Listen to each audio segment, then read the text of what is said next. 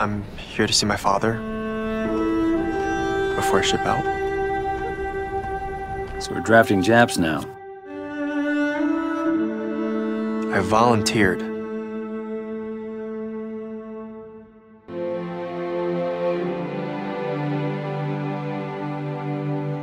History is full of foolish boys trying to be heroes.